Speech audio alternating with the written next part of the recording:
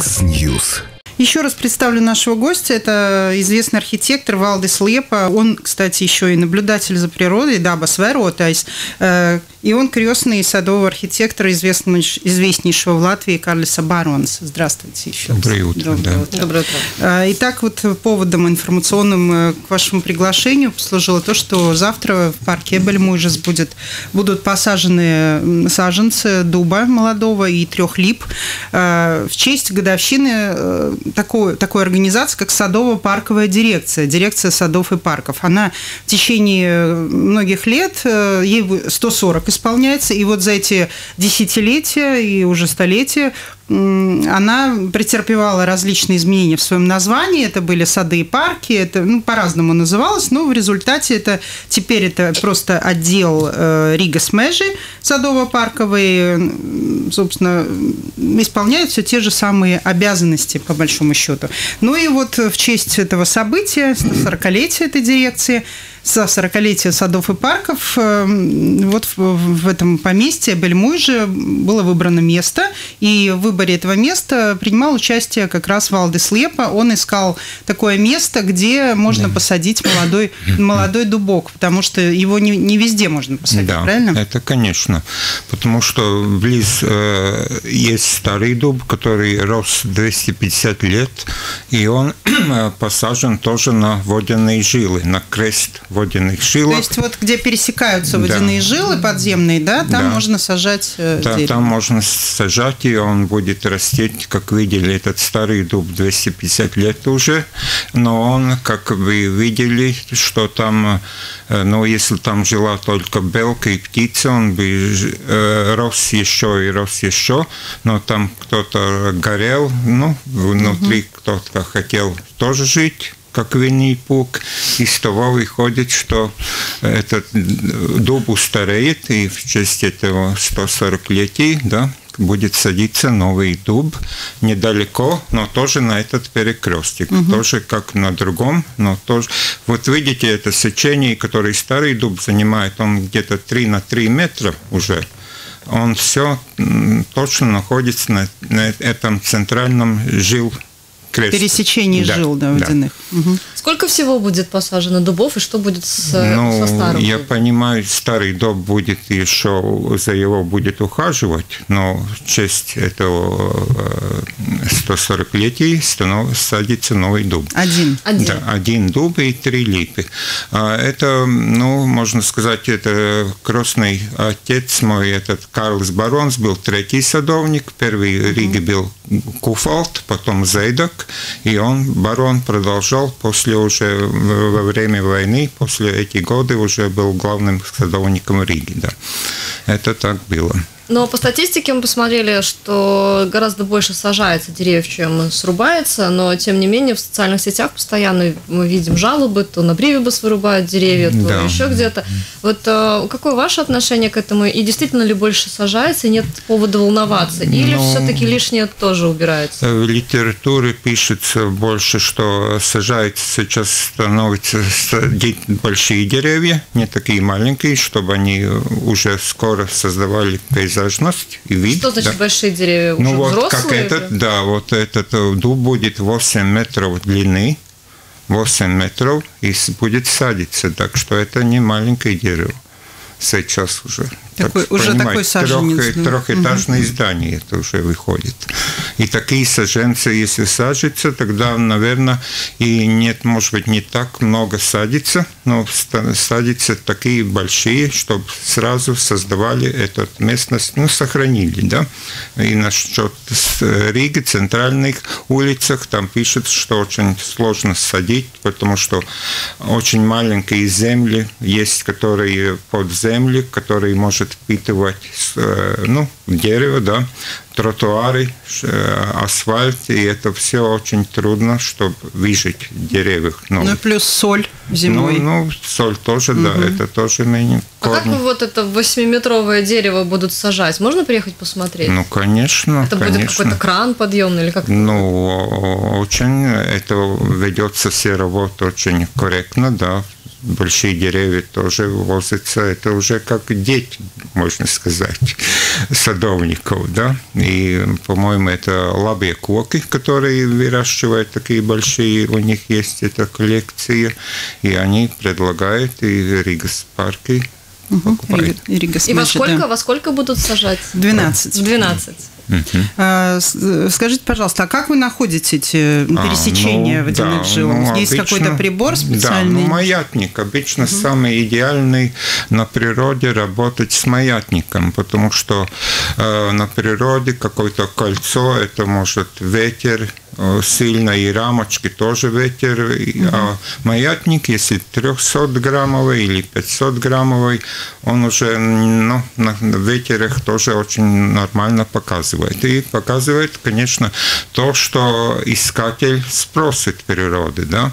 Он может искать водяные жилы, может искать огненные жилы. Да? Угу. Для дома, например, очень важно, чтобы э, дымоход находился на огненные жилы, крест и тогда дымоход хорошо работает, он э, не, не накапливается вода и так далее. Это разные маятники или это Нет, один и тот же? тот же маятник, угу. да, маятник это тот же самый. Там нет, не надо менять. Угу. А, Волшебная палочка. Как вы узнаете, огненная жила или, ну, или водяная? Ну, огненные жилы, если водяные жилы трех метров и больше шириной, тогда огненные жилы 30-40 сантиметров шириной. Это так же, как вы видите, дымоход не больше 50 на 50 сантиметров. То есть, если узкая, то это огненная, да, если широкая, да. то это водяная. Ну и еще есть, конечно, очень если тщательно изучать, чтобы не, не на, еще на других жилах есть такая э, сетка Хартмана и сетка Куры. Да? Сетка Хартмана идет восток, запад и север, юг, и эти ну, расстояния между географическими где-то 2-2,5 метра. Да? И эти перекрестки, которые, эти линии уже 5-10 сантиметров шириной, эти тоже, ну, человеку тоже не очень хорошо, да. А нас, например, в огненные жилы раньше ставился алтарь, место, где огненные жилы, перекрестик. Человек, э, кто-то себя говорил молитву на 15 минут, это очень хорошо, чтобы он там находился.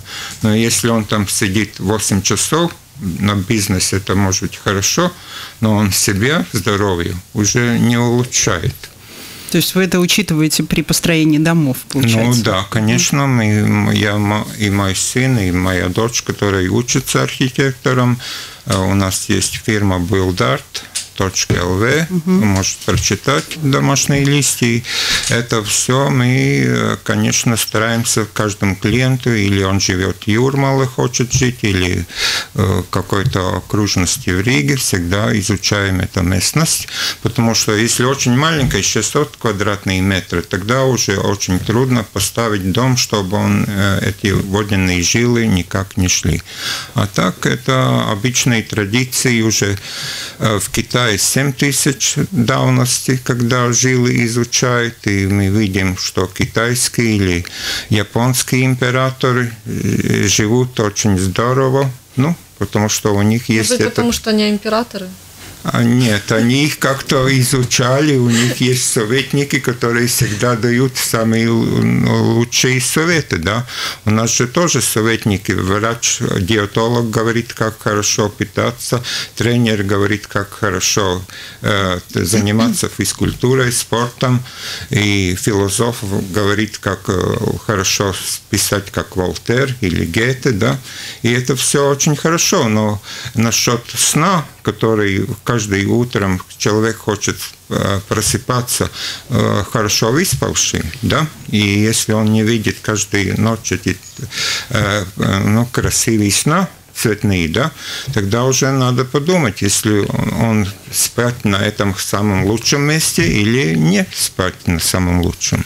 А для меня, вот как для человека, который в этом ничего не понимает, я думаю, есть еще такая категория людей, как визуально выглядит вот вы определили, вот здесь вот огненная жила, начали копать, и что туда? Огонь? А, ну, Лопата раскалилась или что а, произошло? Ну, я думаю, так можно сказать, что в общем это, если какой-то вся Земля какой-то нейтральный электромагнитной волны, да, тогда все, где эти жилы находятся, это ну, увеличенный, да, это тоже тот же самый, как мы не будем жить возле трансформатора, который тоже э, создает какой-то электромагнитные волны, да, и с этого так и можем определить то, что эти ну, изменения какие-то микроволтах мерится, да, и микроволты никак-то, никакой искры не поднимает, да, а микроволты есть микроволты.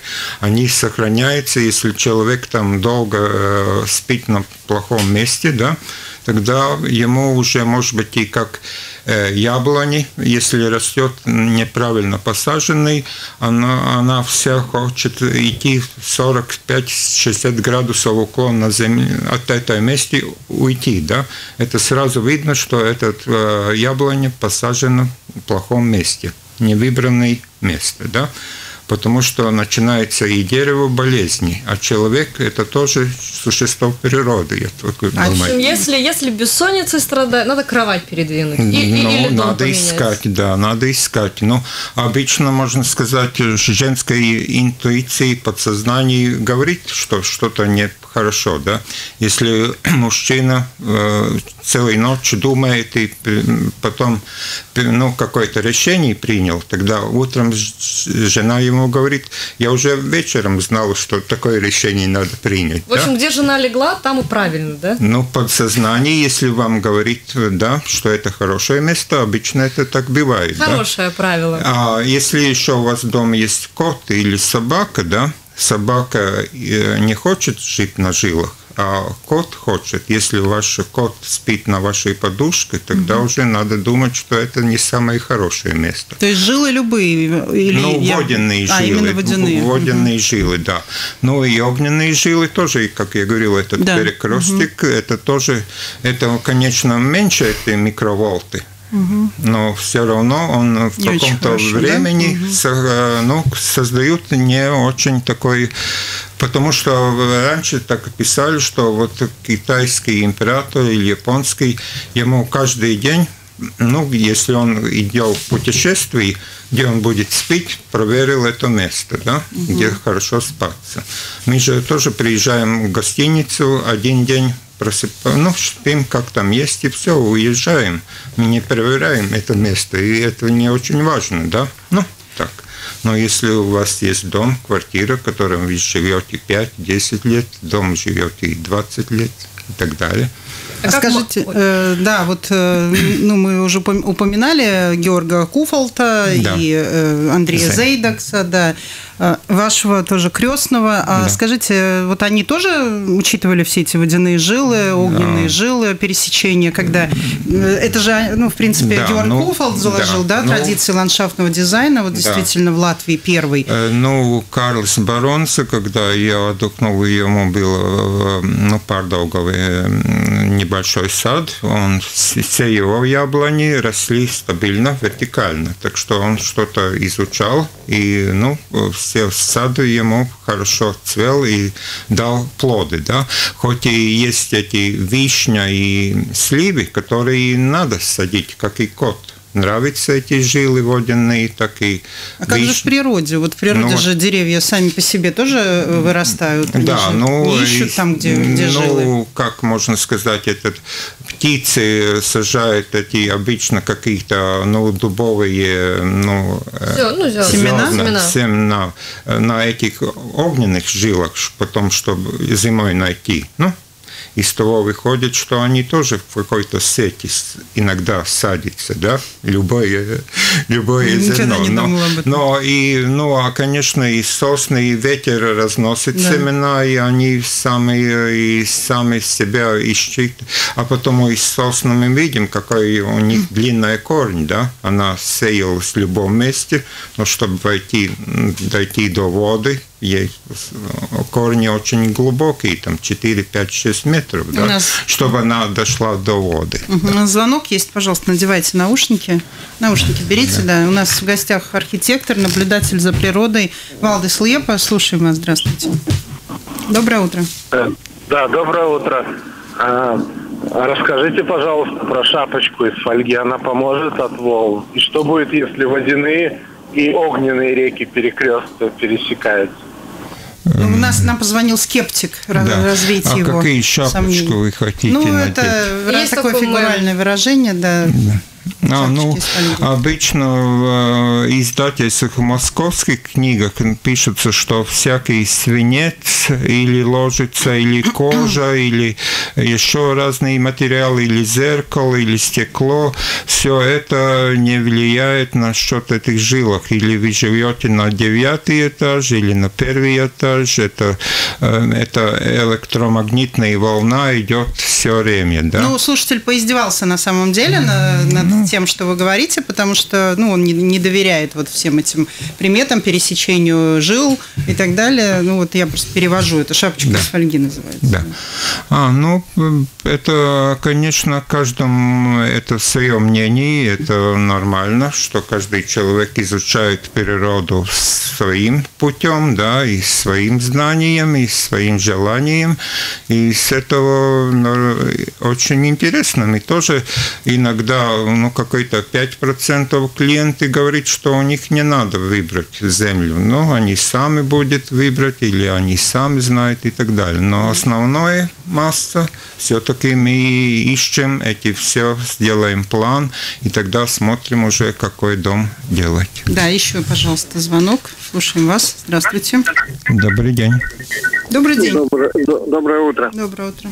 Я хотел бы спросить, вот это, конечно, может действует. Вот э, раньше дома строили, колодец на улице, электричества не было. Но сейчас живешь, допустим, на третьем этаже, на четвертом, внизу все в сплетении проводов, компьютерных проводов, этих водопровод, отопление, эти все трубы, например, на эту рамку или на этот маятник, эти трубы реагируют однозначно, потому что в доме уже смотрели это. Я не знаю, как можно отличить вот допустим, а, эту электри... электропроводку или трубу от этой жилы. Ну, угу. Да, спасибо. А, конечно, эти все электрические проводы, если вы обтянули свою кровать вокруг, да, самый желательный вообще на ночь эти сети выключить, да, у вас же есть какие-то распределители, и в своей комнате оставите там верхний свет или какой-то маленький лампочку, который вы можете сжигать когда вам нужно. А так э, любой личный проводы, конечно, это э, там есть э, циркулирует электричество и создаются электромагнитные волны и поле, да.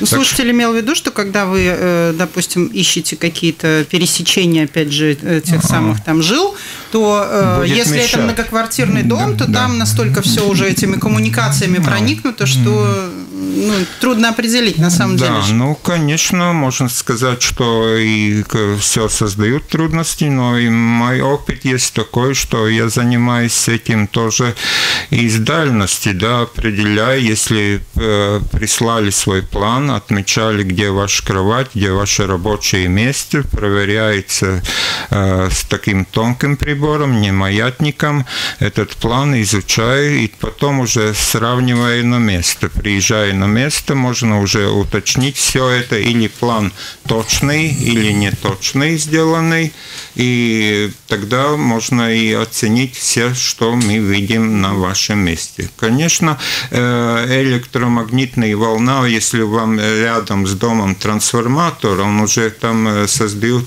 поле каких-то 20-30 метров. И это надо смотреть, где вы выбрали свою квартиру. Да? А сколько за свою жизнь вы деревьев посадили? О, ну, я сажу каждый год, иногда мои яблони тоже, какие-то звери зимой приходят и а, какие-то ветки кушают, да, потому что я живу на природе, 10 километров от Ялгавы, и, ну, какой-то гектар земли мне есть вокруг, и сажений всякие надо очень беречь, да, 8-метровый дуб. Это бобры, вы видите, как на канале тоже скушают большие деревья, если у них не, нет охраны, да, сделанные специальные решетки. Так что садить и выбрать место я изучаю тоже каждый год, каждый сорт. А олифовые дерева в Греции, видим, растет два с половиной тысячи лет и дают плоды, да? Ну да. Еще звонок, пожалуйста. Здравствуйте. Слушаем. Алло, доброе утро. Доброе утро. А, я не местный житель, я из России. Случайно услышал вашу передачу. Валдис говорит чистую правду. Дело в том, что лет 30 назад я читал э, журнал «Наука и жизнь», в котором очень активно рассказывалось в нескольких даже э, экземплярах про лозоходство. И я был молодой человек, было лет 20, я шел с гаража домой, увидел лежащую проволоку, которая лежала э, на земле, в то время цветной металл валялся свободный, отломил два куска, сделал две Г-образные э, проволочки, прижал локти э, к телу и э, просто пошел домой. И вот реально я шел каждые 5-6 шагов, у меня эти э, проволочки скрещивались. Да. Я дошел до дома и нашел, что примерно через 6 метров, через 5 метров эти э, проволоки постоянно скрещивались. Я проверил дом, свою квартиру, мы жили в обычной хрущевке, э, оказалось, так и есть. Э, там, где мама спала, у нее постоянно болела голова, там эти э, проволочки скрещивались. Mm-hmm. Отец переставил, отец переставил кровать на другое место, потом стала у него болеть голова, у мамы перестала болеть голова. Мы проверили весь дом. А, всю квартиру и нашли действительно, что эти линии проходили а, по диагонали нашей квартиры. Все было перестроено уже из-за этого. И всех наладилось э, нормальный, наладился нормальный да. сон. Но в, том, в тех журналах говорилось не про огненные водяные э, какие-то жилы, а там говорилось про энергетические э, линии, которые пронизывают весь земной шар. Да именно в форме тетраэдра. Ну... И в местах, да, в местах их пересечения, мол, возникают какие-то неизведанные науки явления, которые необходимо еще изучать. Так что э, слушатель, который звонил и издевался э, по поводу шапочки из фольги, он э, маленько не прав, потому что я лично, он может сам это проверить, если у него есть э, возможность э, взять две проволочки, возможно, у него тоже получится. Угу. Так что, Валдис, вы правы, полностью поддерживаю. Да, ну это уже 80-е годы, и исследователи так тоже смотрели, что в больших фермах какие-то коровы всегда болеют, да, лейкозом. И это проверил, что они действительно стояли на этих местах. Так что если сейчас строится новые фермы, все коровы может свободно перемещаться – это уже для их здоровья гораздо лучше. Угу. Ну а человек и все это очень так и есть. Так что самое, э, если каждый человек, который не чувствует себя хорошо выспавшим утром, и это повторяется за неделю, за неделей, и не меняется, надо что-то посмотреть. Может быть, 30 сантиметров даже кровать э, передвинуто, все установит, все нормально. А вы, когда приезжаете, например, вот по городу, едете, видите, что срубают деревья, на Бриева срубают деревья, на Валдемара, кстати, очень много вырубали. Вот у нас, например, и слушатели, и комментаторы очень часто, они возмущаются, да, потому что вроде здоровые деревья, их вырубают, да. потому что якобы они больные. А нас вот каштаны, кстати, вырубали на Вудемар. У вас вот душа не болит, или вы думаете, что если уж их рубят, то, наверное, правильно, они, наверное, больные были, правда, там червячки какие-то ну, живут? Идеальной была возможность, если их пересаживают, да, большое дерево, как вы видите, если 8 метров сегодня садится, так что любое дерево можно и выбрать из этого места, если он там мешает транспорту, да, Ну, например, на Валдемара вырубали каштаны по причине того, что или там собирались еще какую-то часть вырубить, потому что вроде как они были больными, то есть э, какие-то жучки живут, которые вот мешают. А, при этом никто не мог никаких доказательств предъявить и так далее. Вот Да, вы насчет болезней я не биолог, но вообще знаю, что и Рундальский дворец, там тоже э, была болезнь осис, да, как ясень, да, и там все медийбу парк вырубали с этим ясенем, который все аллеи, и садятся новые деревья, но болезни есть болезни, в каждом веке есть какие-то болезни, которые там действительно появляются. Так что насчет каштанов я не знаю, но в Рундале, где мой отец работал тоже как архитектор, руководил Рундальского дворца, и я там 10 лет участвовал с интерьером. Я знаю, что ну, недавно, где-то 5 лет назад, вырубили весь ясень да, из эм, парка. Мгм. Еще звонок у нас, пожалуйста. Слушаем вас. Доброе утро. Здравствуйте. Да, У здравствуйте. меня такой вопрос. У меня, когда переехали в эту квартиру, это в Золе туда, видимо, жильцы там э, посадили ели возле дома. И вот, э, ну, там прошло уже, правда, много лет, 30. Эта ель выросла сейчас где-то до, наверное, четвертого-пятого этажа. Вот в каких, в каких местах ели любят расти для человека? Вредно, не вредно? Ну, любое дерево, да, создают какую-то свою ауру человеку, какому-то нравится больше дуб, какому-то липа, кому ясень, кому ель, которому, кому сосна, да.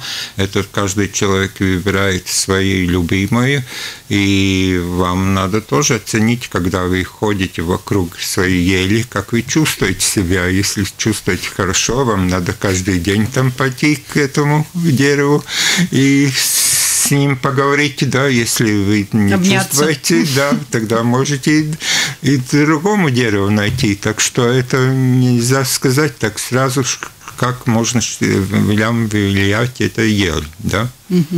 Вы наблюдатель за природой. Э, Ну, для меня это люди, достигшие определенного дзена, да, то есть вы выходите в поле и, и наблюдаете, и, или как это, про- или утром встали, деревья замерили, Ну, там, там траву ну, полили. Сегодня происходит? посмотрел в моем саду первые тюльпаны уже цвели там, так что То есть опять у вас чуть теплее, там, в 10 ну, километрах от да, да, ну и было такие, не было, а желто-красный такой, ну, сорт такой Да. из Голландии. На остальные еще нет. Ну, а эти белые уже все уже кончились.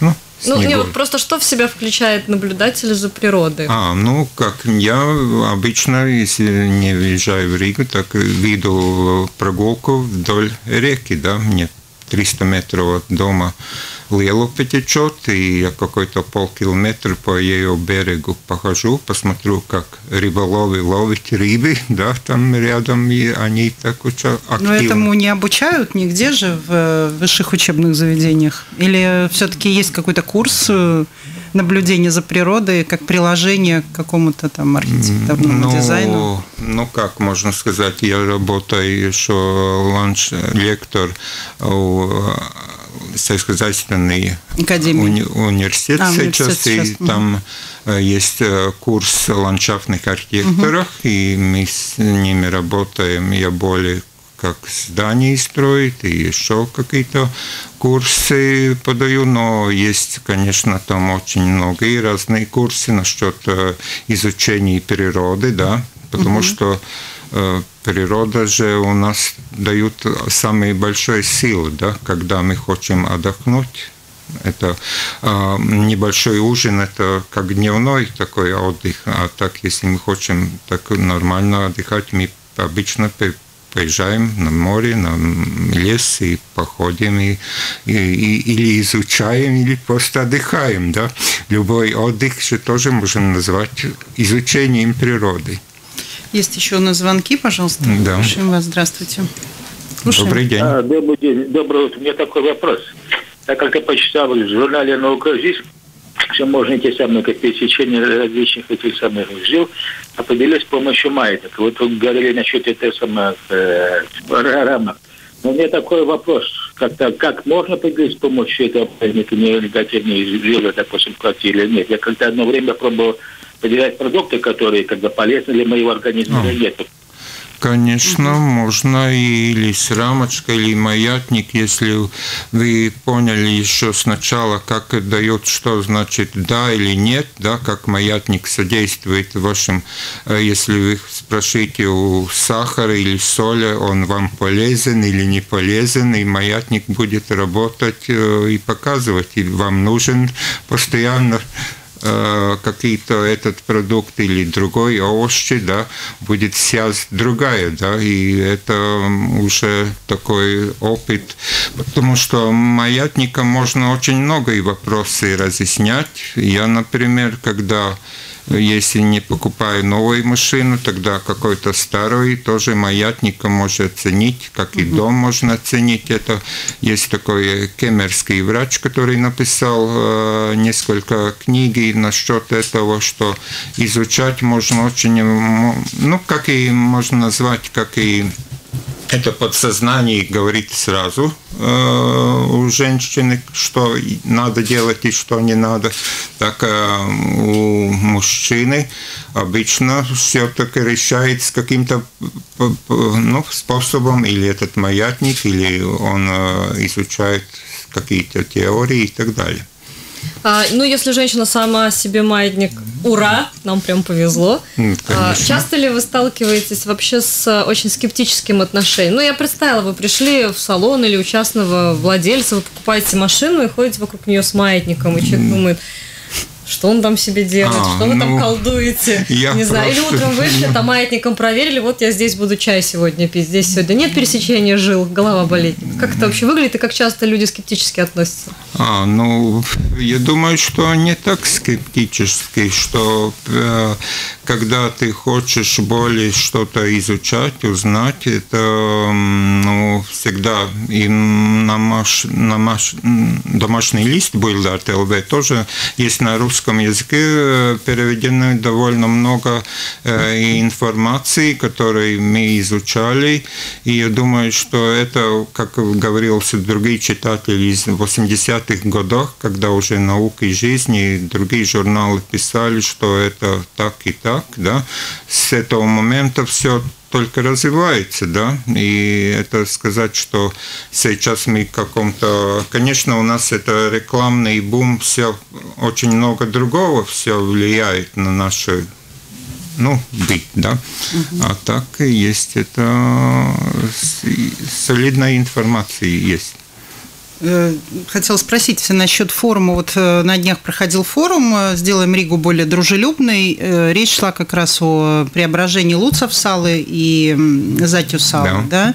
Вот что вы думаете об этом? Как, скажем так, ну, можно, сохранив, допустим, то, что да. там сейчас есть какие-то насаждения, да, или и преобразовав да. таких уже традициях, наверное, не просто как насаждение, да. а вот угу. красиво преобразовав, как это можно сделать? Ну, прошлой неделе я был на Луцеусала. Один mm-hmm. клиент хотел искать где свои дома строить, да, ему четыре э, дети в семье, и он хотел почти, ну, как минимум два дома построить для себя и одного из семьи.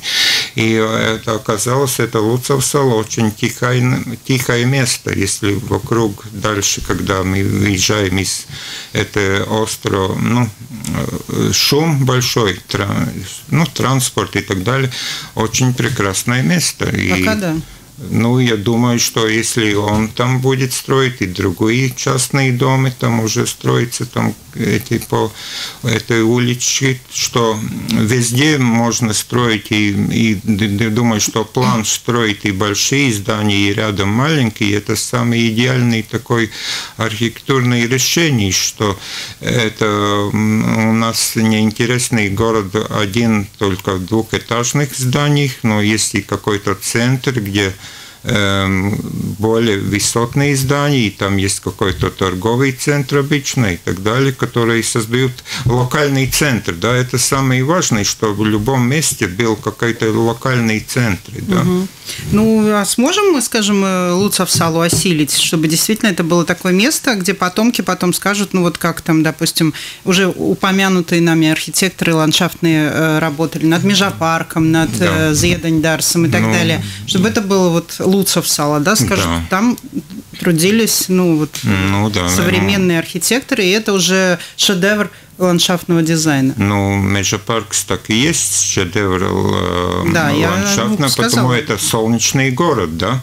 И если там дали план сделать э, более больше местности каждому дому, из того и создаются, что каждый дом как-то находится уже в парке, да, и если мы идем по улице, вся улица смотрится как парк. Если мы разделяем на маленькие 600 квадратные метры, и каждый хочет такой средний дом построить, тогда уже там парк не получается. Да? Это все равно все связано с тем, которые планы мы хотим развивать. И вот между парк – это солнечный город Латвии, можно считать. А первый. что с Луцевсалой будет, как по-вашему? Ну, я думаю, что сейчас тоже рижский Бувалдес, архитектор, смотрит, и все и, и всегда делаются конкурсы, да, чтобы получить самую хорошую идею, да, и из того, и я думаю, что только что самые лучшие идеи там будет э, э, ну, э, решить, да. Да, э, звонок еще один, пожалуйста, здравствуйте. Слушаем вас. Добрый Алло. день. Да, здравствуйте, здравствуйте. Очень интересная тема. Спасибо вашему гостю, очень заинтересовал. Угу. На самом деле, у меня такой вопрос. У нас действительно недалеко от дома стоит электрическая транзисторная будка, которая обеспечивает там поселок э, энергии, и недалеко стоит общая антенна для интернета, которая тоже является как бы базой передачи сигнала для всего поселка. Можно ли выставить какую-то защиту между своим домом и этими объектами э, реальную? Что-то может защитить или это уже ничего не поможет? Ну, об, да, обычно любой проект э, согласуется с тем, что смотрится, да, все эти локальные, когда есть электролинии, да, там даются какие-то нормы, да, э, ближе которых нельзя строить. Так что я думаю, что ваш дом должен быть по этим нормам поставлен. Если вы видите этого трансформатора, но он от вас находится где-то 30 метров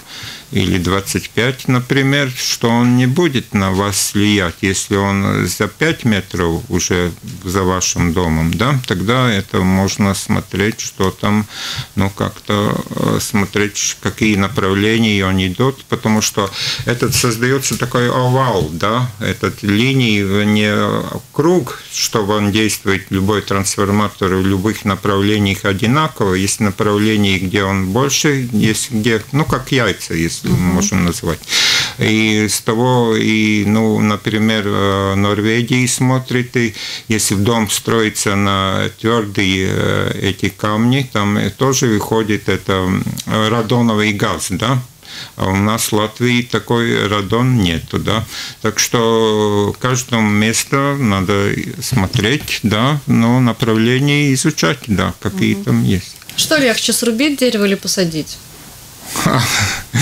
Э, если вы какому-то э, работнику... Чисто технически, да. То есть, если мы сажаем 8-метровое дерево, оно требует определенной техники, оно да, определенных знаний будет... требует, но и срубить дерево, особенно в черте города, это тоже задача непростая. И комментарии все время говорят, ну, конечно, рубить же не сажать. Вот что да. сложнее? Ну, конечно, рубить вам это сделать за секунды, чтобы посадить на правильном месте. Мы выбрали место, выкопаем яму, там э, дают удобрения нужные, да, чтобы это дерево первые пять лет рос, э, и ему не надо что-то насыпать наверх, он, ему уже корни есть всякие, ну, нужные средства, да. Пожалуйста, здравствуйте.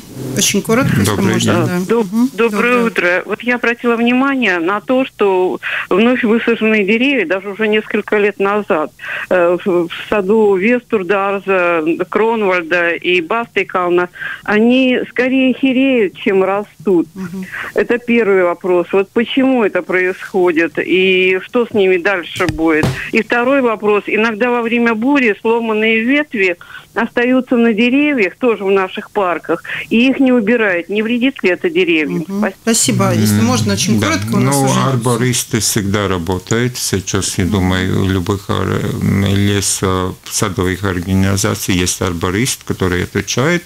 А деревья, которые, за которых не ухаживает, э, ну, с хозяин, ему будет гораздо труднее за тем деревом, которым ухаживает. Ну, я так понимаю, что это все-таки городская, городская собственность, речь шла о парках, ну, не о частных садах. Да, ну, обычно же все, ну, надо... То есть вы не обращали внимания, да? Да, ну, я, я, я живу 10 километров от Ялгавы. Да, мы поняли. Спасибо вам большое. У нас в гостях сегодня был э, архитектор и наблюдатель за природой, крестный сын архитектора парков Карлиса Барона Валдис Лепа. Э, спасибо большое и до свидания.